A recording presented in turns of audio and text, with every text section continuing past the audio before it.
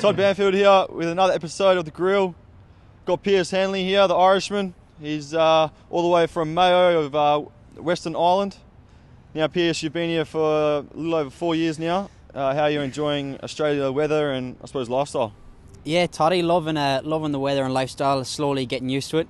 Still have to apply the sunscreen every day, but uh, getting better at that, so I'm enjoying it. Now, you are uh, a bit of a ladies' man. You, you like uh, your accent does very well. Um, got any tips for the other boys? Um, I don't actually. It's not my looks to get the girls toddy, so I'll have to put it down to the accent. So that's about it. Claye, on the other hand, he's he's stitched up. He hasn't got charm, accent, or looks, so he's struggling. But Brocky's got looks, so he goes alright as well. Now, um, you do live with uh, Claye Beams and Brocky McCauley. We had a uh, big T Rex just uh, last week. Now, you got any uh, things about him that he reckons he's not a good cook? What else is he not good at?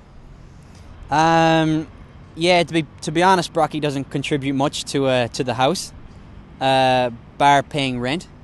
He uh, he's only there about three or four nights a week. Um, his cooking is terrible. He cooked us fried rice once, and I don't know. I wasn't even going to eat it. He cooked us more fried rice with fish on it with no sauce. Um, in regards to cleaning up, he doesn't clean up, uh, but he can tell you he's good at giving orders. Um, he chose to have the ensuite in the house, and which is beside where the television is.